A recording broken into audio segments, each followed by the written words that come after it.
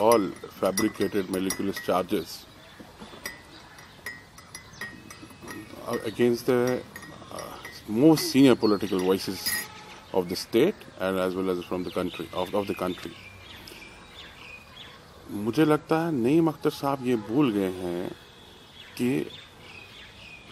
2005 में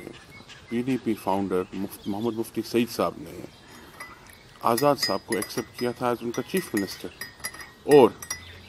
बेग साहब ने पेट्रन जो हैं पीडीपी के, उनका डिप्टी एज काम किया। और आज ही ये बात कर रहे हैं, उस टाइम वो डिग्निटी थे और आज ये चार्जेस मुझे लगता है नईम अख्तर साहब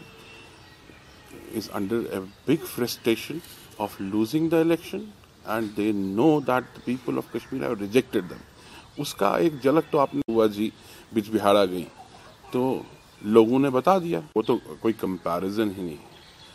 आज़ाद साहब स्टेट के तो टॉल लीडर हैं he and he is the tallest leader in the country also so somebody comparing is क्या होता आउट ऑफ़ क्वेश्चन मुझे लगता है कि पीडीपी को अब ये अंडरस्टैंड करना चाहिए कि उनके लीडर्स अब फ्रस्ट्रेट हो चुके हैं, खासकर नईम अख्तर साहब. क्योंकि आप देखें कि biggest opposition of these fanatic groups is Congress और आज़ाद साहब एज ए राज्यसभा मेंबर 2000 पिछले पाँच छः सालों से हाफ़ ए डिकेट से ज़्यादा अपोजिशन में लगे हैं राज्यसभा में अगेंस्ट बीजेपी तो हाउ इज़ इट पॉसिबल कि उनके ये बात और उनके चार्जेस एक्सेप्टेबल होंगे? This totally unacceptable such charges on the tallest leader of India